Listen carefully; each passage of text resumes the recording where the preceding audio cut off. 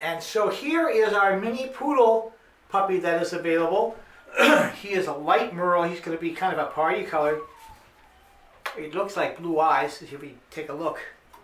Here you go. You're wagging your tail, huh? Yeah. So um, they're going to be seven weeks old uh, next Monday, and they are going to be starting to head home on Friday uh, before the long weekend. And so if you have any interest in this mini poodle boy, please give us a shout right away.